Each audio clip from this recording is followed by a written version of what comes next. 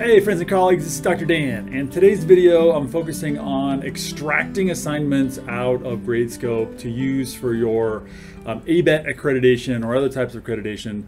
In this case, we need essentially good, medium, and poor examples of all assignments from a class.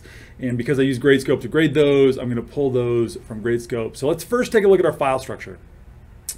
So in my file structure here, I've created a separate folder for ABET, and I'm going to assume here that I've got um, two sections. One section which is 002, which is my civil engineering students. One section is 003. Um, here at CSU, we've actually divided up our civil environmental into 001 and 002. I actually teach two sections which aren't all civil environmentals at two different times, but this works for our, our structure, our discussion here. Okay, so in each one of these, create folders, right? Exams, homework, I have learning exercises, which are different kind of assignment, and quizzes. So I'm gonna talk here about uh, extracting quizzes. And again, same structure in my environmental, one folder for each type of assignment. Okay, so let's jump over to Gradescope. So here we are. This is our Gradescope homepage. Uh, it shows our courses, and so most likely you're going to be pulling these from your most recent course. At least we only pull assignments from the last year before our ABET accreditation.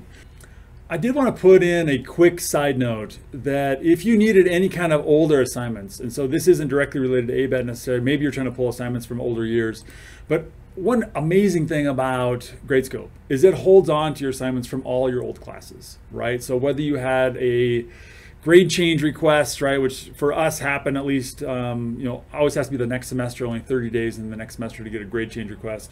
But you can review all old assignments, pull old assignments, all those kind of things are all recorded in Gradescope. Um, I don't think they've gotten big enough yet to actually start deleting the old ones. So you can see that I used this first back in fall of 2019, um, pre-pandemic, and it still has my assignments from then. You know, eventually maybe it'll get big enough that it won't hold those onto those forever. I'm not sure about that, um, but at least for now, it holds all your old assignments, so you can pull those at any point in time. And so I'm going to jump here into my um, current course. And in this course, again, we've got the left-hand menu over here. Easiest, in my opinion, the dashboard just shows the recent assignments. I go ahead and hit my assignments to see everything, see all those assignments. And so I'm going to pull data for quiz two. All right, so I click on quiz two. Uh, now here in quiz two, I'm going to um, select, if it's not already there, um, onto this review grades. And that's typically the one it defaults to if everything has been graded. Basically all of these are checked. It'll default to showing the review grades. All right, so two things I need to pay attention to. One is going to be that my students are from different sections, section two, section three, okay? And the other is they got different scores right? So if I want low, medium, high, I can sort these by the grade, either lowest to highest um, or highest to lowest. And so looking at my distribution, I want, you know, one assignment up here, probably a 19 or a 20, probably just pick a 20. There's plenty of those in this assignment. My average was 16.75 and I'll shoot for somewhere around 16 uh, for mine.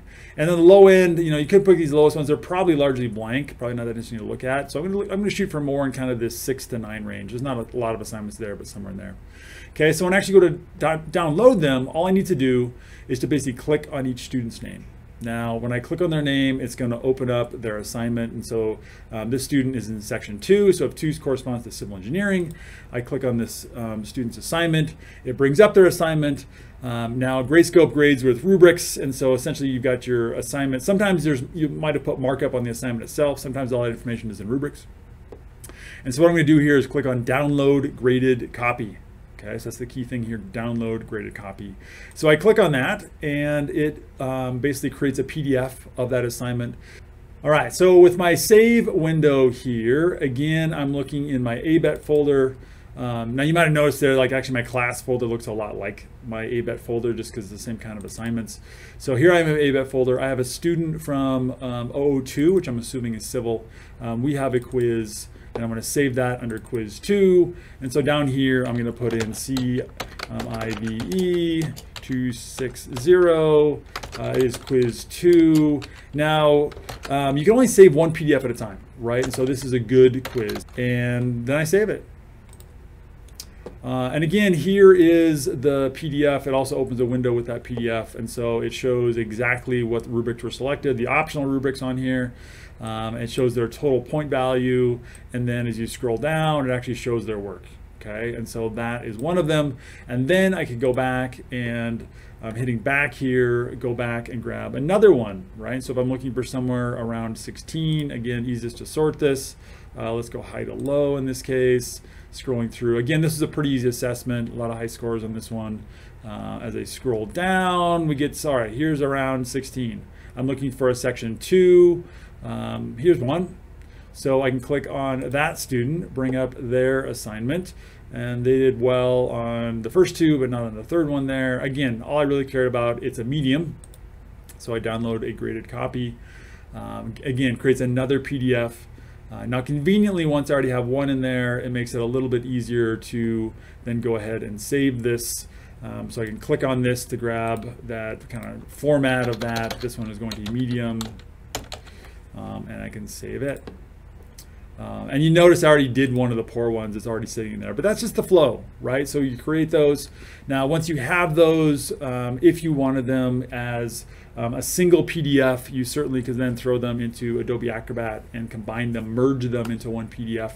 Um, or you can leave them as three separate. It just kind of depends. Again, these assignments are, are a backup for all the continuous improvement and everything else. They're really, if the uh, ABET reviewer wants to see the detail in the classes, that we can provide more detail directly to them, have it all ready to go. Um, and so that is the overall process. Again, just downloading these graded PDFs from Gradescope. Hope that helps and have a great day.